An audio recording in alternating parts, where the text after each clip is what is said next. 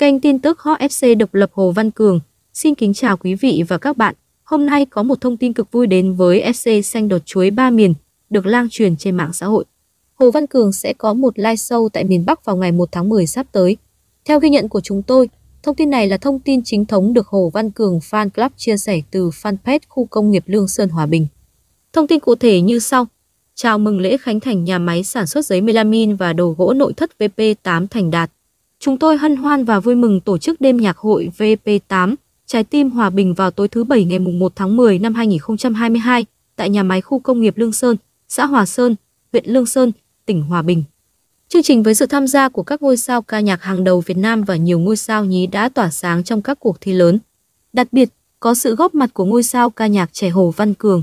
Xin trân trọng thông báo và kính mời quý vị, quý bà con cô bác đến thưởng thức đêm nhạc có 102 này. Theo thông báo, chương trình này hoàn toàn miễn phí và được tổ chức ngoài trời với một sân khấu vô cùng hoành tráng và rực rỡ. Sau khi nhận được thông tin chính thống từ fanpage Hồ Văn Cường Fan Club, không chỉ FC xanh đột chuối của cả ba miền trong nước, mà lẫn cả FC hải ngoại cũng vui như ngày hội, háo hức chờ đợi và bắt đầu đếm ngược thời gian.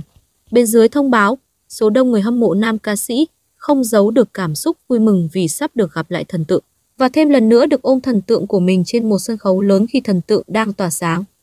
Tháng 10 ngoài Bắc Hanh khô gió hưu hưu lạnh, lại được đu sâu của con còn gì bằng, Lương Sơn Hòa Bình là gần quê nhà mình ơi, cái nắng cái gió xe lạnh, một cảm giác như đang được ôm con vào lòng.